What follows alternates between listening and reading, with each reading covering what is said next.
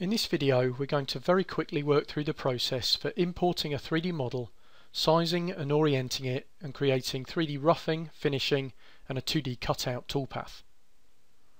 There's a longer version of this video where we go into more detail on each of the steps if you want to follow along.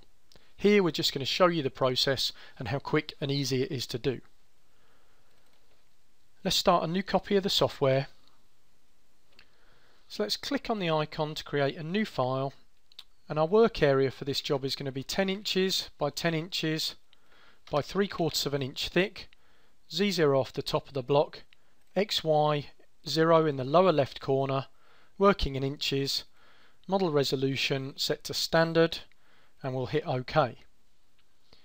Now we're going to come down to the modeling tab and click on the icon to import a 3D object going to select the file Magnolia Flower from the project folder and hit open. We'll see a grayscale representation of that in the 2D view. if we go up to view, tile windows vertical, I can see the 2D view and the 3D view on the right here and the part of the model that overlaps the work area is visible in the 3D view.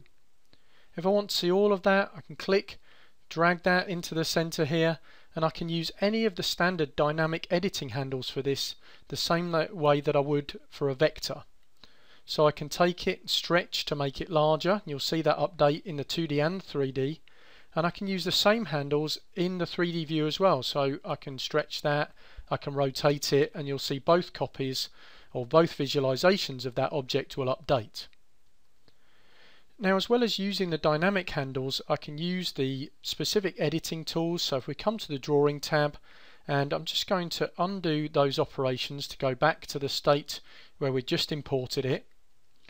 Now I'm going to select here to align that in the middle of my material. I'm going to change its size by specifying a width of 9 inches and I'm going to rotate that 5 degrees close and also create a mirrored copy of it. So we'll mirror the object, flip about job center, flip horizontal, so we create what is effect a sort of right hand copy. And now I can just recenter that again just to make sure that's in the middle of the job. Now the last thing to do before we're ready to start cutting this is to check its height. If we come down to the modeling tab, click on the object to select it, click on the wrench the height at the moment is 0.4976. I can adjust that to be 0.55 of an inch, hit the space bar so that updates, and then hit close. Now I'm ready to go over to the toolpaths tab so I can hit F12 on the keyboard, just go up to view and tile the windows vertical and we'll just click to deselect the object there. Now I'm going to hit set to check my material setup. Z0 at the top of the block, material thickness 3 quarters of an inch, XY0 in the lower left corner. Now I'm going to come down and check the position of the 3D object within my block. I can position that with the slider or I can enter a value in here. I'm going to enter 0.05 of an inch so I have a little bit of clearance above the model and some material still left below it when we cut it. Rapid and home position are both good so we can hit OK. Now the first toolpath we're going to use will be the 3D roughing toolpath. If we come up and click on the icon here, what this is going to do is hog out the majority of material for us and get us ready to go in with a smaller tool to do the finishing. I'm going to select from the tool database quarter inch end mill for this, hit OK. I'm going to hit edit and just change the pass depth to be 0.2 of an inch. That'll just adjust the number of levels I get. Boundary offset is a distance that the tool is going to come past the edge of the part to ensure that it can get down the side of my 3D objects. So I'm going to leave that set to 0.25.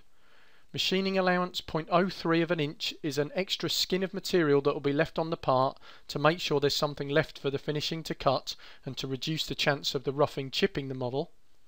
We're going to use the Z-level strategy and I'm not going to choose to ramp in this case but let's go ahead and give this an appropriate name and hit calculate. We'll see the software draws the toolpath for us in the 3D view and opens the preview toolpath form. If we go to the ISO view and click on preview we can see what the block will look like after we've roughed it with that tool. So Z-level roughing is effectively cutting down in 2D levels to machine the majority of the material away. Now we can close the preview, click on the icon for the finishing. Now I'm going to use a smaller ball nose tool for the finishing, so we'll use a 1 8 uh, diameter ball nose. The step over is important. I should make sure this is around 8 to 10% of the tool diameter to get a nice smooth finish.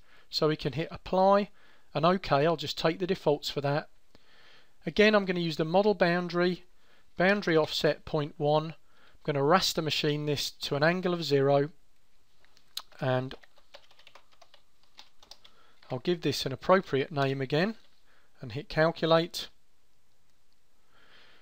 Now we can preview the finish and we'll see when that's done that we get a part that looks much more like our original 3D model. If we just maximize the 3D view we can see exactly the type of finish and detail we're going to get with that tool and those cutting parameters.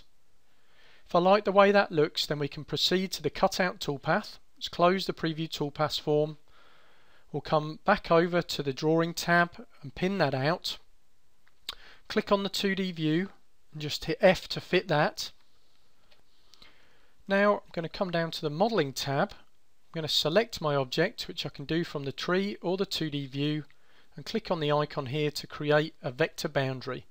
And if I just click to deselect, what that's done is created a vector around the edge of my selected 3D object and that we can use now to do a profile cutout around. So if we hit F12 on the keyboard to go back over to the toolpath tab, make sure our outer vector is selected there, click on the profile icon, I'm going to cut all the way through the material so we'll put in 0.75 I'm going to use a quarter inch end mill tool. I'm going to edit that so the pass depth is a quarter of an inch so we'll get three passes to cut through this material. I'm going to cut round the outside of that selected vector and I'm not going to ramp or add tabs in this case. Let's just call that profile, cut out and then some information about the tool. Calculate so there we can see the toolpath. Now I can preview that toolpath. We've cut all the way through and because we have no tabs I can double click in order to delete the waste material so we can see exactly what that part will look like after we've roughed, finished and cut it out. Again, if we like the way that looks, we can close the preview toolpath form. We're ready to select our toolpath, hit save toolpath, choose a post-processor appropriate to our machine or control and actually start to save that file out and that would be the file we'd take across and run on the CNC. So I'd have one file for the roughing, one for the finishing which I'd save, and one for the profile which I'd save there. There's also a copy of this saved in the project folder as well. So that concludes the short version of this tutorial. There is a longer version of this where we go into a much more detailed explanation of each of the stages involved, so you can watch that if you want to follow along with the example. Thanks for watching the video.